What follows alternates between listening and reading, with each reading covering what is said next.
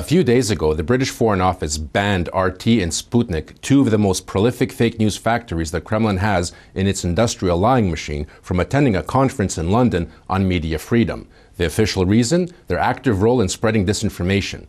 Maria Zakharova, spokeswoman for the Russian Foreign Ministry, said the UK needs to prove these charges, otherwise it's slander. Well, this is Stop Fake, the place where we've been debunking Russian disinformation for five years, and we have a list. So let's get to it. By March 2014, Russia's military operation to invade, occupy, and annex Ukraine's Crimean Peninsula was fully underway. In fact, Russian servicemen who were part of the operation received this medal with the start and end dates of their operation. It began on February 24, 2014, and ended on March 18, 2014. Little Green Men, heavily armed and equipped, seized airports and state institutions in Crimea, while the Russian Navy launched a blockade around Ukrainian naval bases. Then they set the date of the referendum, because holding a referendum under the barrel of a gun is a good way to guarantee favorable results. But just to make sure that the atmosphere was saturated with fear, the Kremlin also set up a disinformation component to its operation. Russian TV channels provide almost endless reports about trains of Nazis heading towards Crimea to murder Russian speakers and start pogroms against Jews. Paula Slier prepared a story about Rabbi Misha Kapustin from Simferopol, who feared for his life. She creates the impression that Rabbi Kapustin abandoned his home and is trying to save his family from Ukrainian Nazis and other anti Semites advancing on Crimea and shows pictures of a Kiev synagogue spray painted with graffiti that read Death to Jews. But Rabbi Kapustin was in fact the author of a call to save Ukraine from Russian occupation that he posted on Yevreysky Kiev, a website about Jewish life in Ukraine, on March 2, 2014. And the reality is that the graffiti appeared on a synagogue in Simferopol after Russian troops were in full control of the city. Slier wants to project an image of a Jewish community looking for safe havens, and understandably so, because Russia has a long, dark history of anti Semitism. So, where would people find security to escape the supposed Ukrainian Nazis? Well, according to Rabbi Kapustin's own Facebook page, apparently to Lviv, the historical hotbed of pogroms and anti Semitism, according to Russian narratives about the city. Clearly, Rabbi Kapustin was not escaping the Kiev junta, but in fact fled from Russia's occupation of Crimea. StopFake has debunked Slier's disinformation about Nazis invading Crimea several times. This piece is a classic example of RT disseminating not only disinformation, but straight up lies.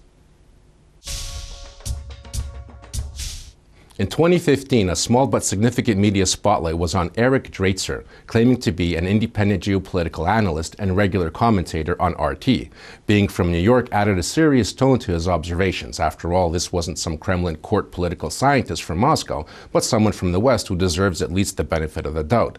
His biography claims that he's a regular contributor to RT, Counterpunch, New Eastern Outlook, Press TV, and others. But these sites are all extensions of the Russian disinformation network spewing anti American, anti Israel, and anti European diatribes, basically acting as noise and pollution in order to obscure real news. And they're about as reliable as gnomes and unicorns. For regular viewers of RT, he started to foam at the mouth about the Kiev junta and punishers and describes plans Ukrainian authorities apparently had to destroy the memorial to the victims of Nazi crimes in Babi Yar. Well, the team at Stop Fake rummaged through Draitser's biography, and it turns out he's not a political scientist at all. We found his profile on LinkedIn, and apparently he sells car insurance. His pieces are all hosted on the RT website, suggesting RT devoted resources to create this geopolitical analyst persona.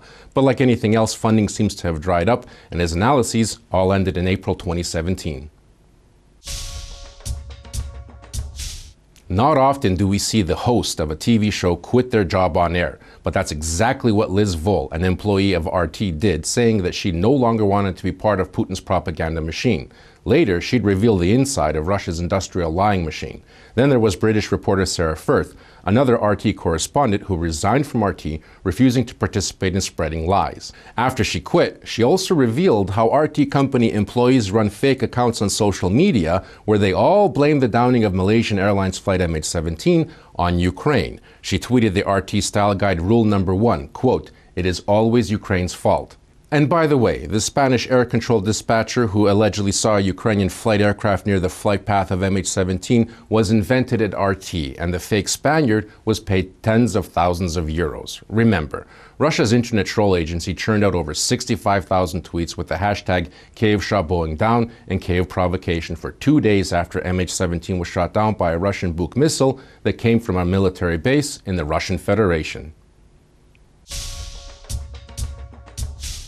Finally, you won't be surprised to learn that around the world, and in particular in countries that were formerly occupied by the Soviet Union, RT has spread all kinds of lies and disinformation about fake crucifixions or that Ukraine's Ministry of Defense distributes Russian speaking slaves to members of the Ukrainian armed forces.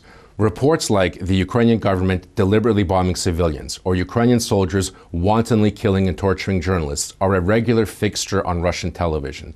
The theatrics on RT almost always declare Ukrainians are engaged in ethnic cleansing, the likes of which the world hasn't seen since the Nazi crimes against humanity during the Second World War. It was for this kind of programming that RT received a warning from the British regulator and almost lost its license to broadcast. Free speech is not a license to lie, and when the British Foreign Office bans RT and Sputnik from attending a conference in London about media freedom, that means someone is finally taking the threat that the Kremlin fake factory represents to free speech seriously. But Western governments should also consider that taking away the broadcast license of RT, Sputnik, and other agents of Russian disinformation is actually something that will protect free speech. That's it for this week. These were only a few examples of Russian media lies that we debunk on a regular basis, and you'll find it hard to call people who work at RT journalists after you read the dissected disinformation on our website, stopfake.org. And be sure to subscribe to our YouTube channel to get notified about future updates. Be vigilant, look out for fakes, and if you spot any disinformation about Ukraine, forward it to us for a truth autopsy. I'm Marko Suprun. Thanks for watching.